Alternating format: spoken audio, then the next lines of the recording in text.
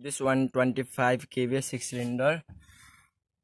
Kirloskar genset showing that low water level. So I am going to fix it by system. First of all I am showing that what is showing on this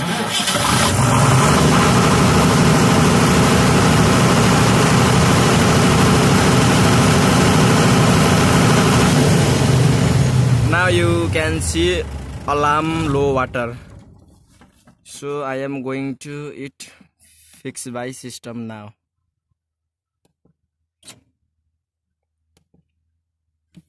first of all click on this hole for just uh, one minute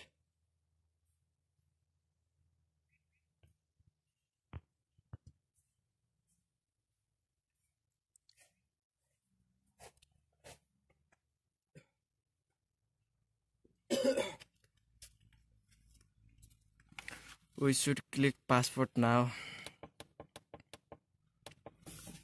Five. Five.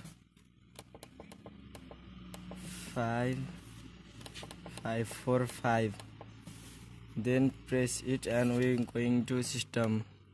Then go to engine and click on start. Then press test to go down.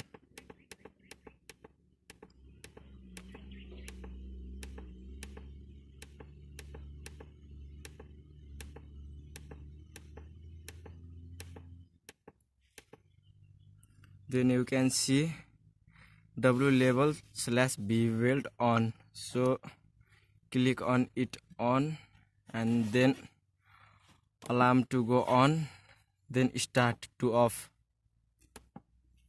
then press stop to back out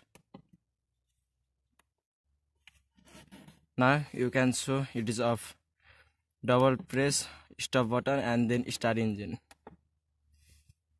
What?